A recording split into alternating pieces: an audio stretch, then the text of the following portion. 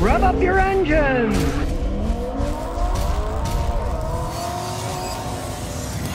Today, by popular demand, I'm going to talk about stupid car slogans. Now, car advertising slogans have been around just about as long as cars.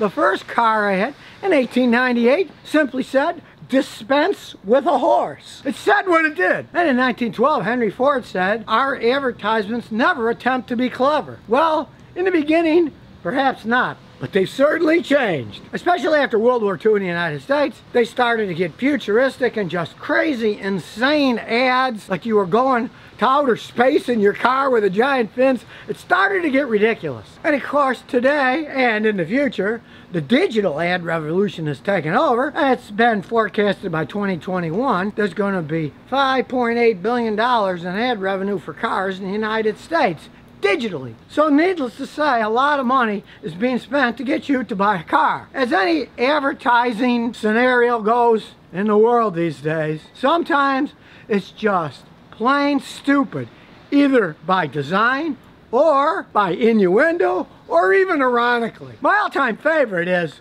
the GM one where they had the song, Like a Rock, Like a Rock. Do you really want a car that's like a rock? Hard, sits there, doesn't move. it's, it's getting to be ridiculous what they're trying to sell cars with. Songs. Songs about being like a rock. Well, they don't use that one anymore, but to me, that's one of the all-time dumb ones. Now, Fiat Strada had one hand-built by robots. There's an oxymoronic one if there ever was. Then there was the old Buick one. When better automobiles are built, Buick will build them. This is insinuating that Buick doesn't build very well-made cars today.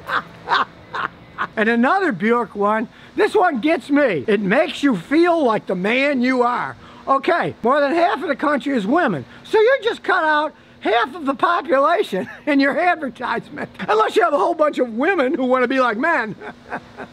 Another crazy one from the past is Mercury. At the sign of the cat. What's that? They leave hairballs all over the place? or they pee on everything marking their territory?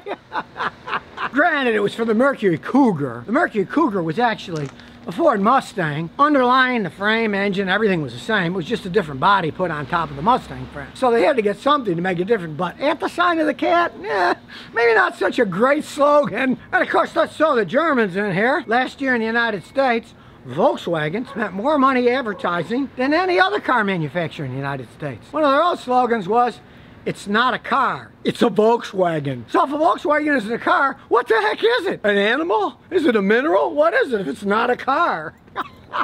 Cadillac once used the slogan, the penalty of leadership. Well, I guess the penalty of leadership is that you fall out of the leadership and now make junky cars that fall apart and cost a fortune. of course, they're going for the snob factor. Maybe all the CEOs, they thought they were going to buy Cadillacs. What about the common man, you know? I guess they didn't care about that. And Audi, following up on their snob appeal, their slogan was, never follow. So I guess you can't buy an Audi and drive it in the city of Houston because there's traffic jams everywhere and you're always following people. or if you take that seriously and zoom by everybody, soon you'll be followed by the police. They're going to give you tickets for speeding. Another doozer was Volkswagen again. Drivers wanted. What's this like, a crappy restaurant where it sells help wanted on the outside? They're begging for people to come buy their cars? Not such a good sign. Maybe it lost something in translation from the German. Then there's Nissan's old slogan, built for the human race. Well, what is it built for? Cats, dogs to drive around? Snails? Another oxymoronic one. I really wonder, did people stay up night losing sleep coming up with these stupid things?